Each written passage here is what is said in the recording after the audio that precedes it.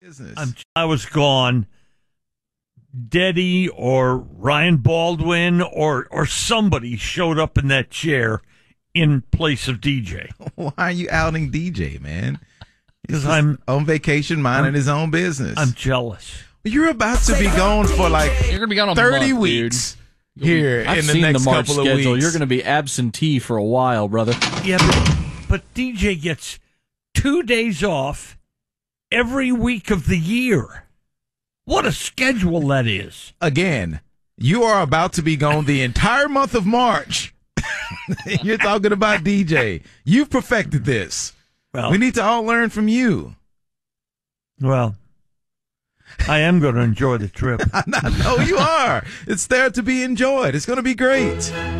You want to let everyone know where you're going for the entire month of March? Yes, we're going to New Zealand for it, it's not the entire month of March. We are gone 19 days.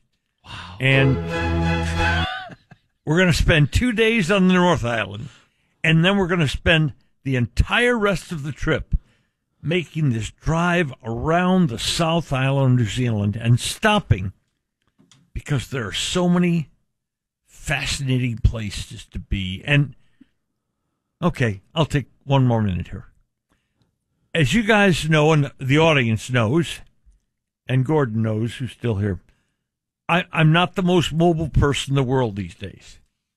So, things that require high mobility, tough for me. But they don't require high mobility for Mary. But Mary, so I've planned this trip around three things Mary can do and one of them is swimming with the dolphins and the whales in the bay at Kaikoura.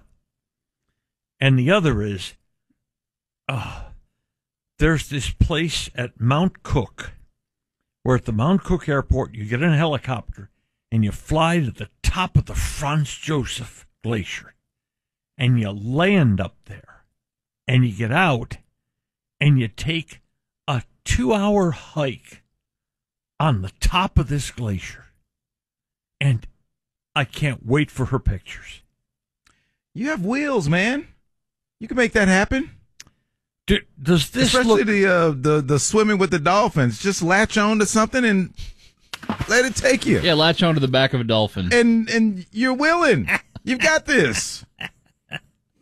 How about the top of the glacier? Do you think that thing works at the top of the glacier? I, I think so. Yes. Okay.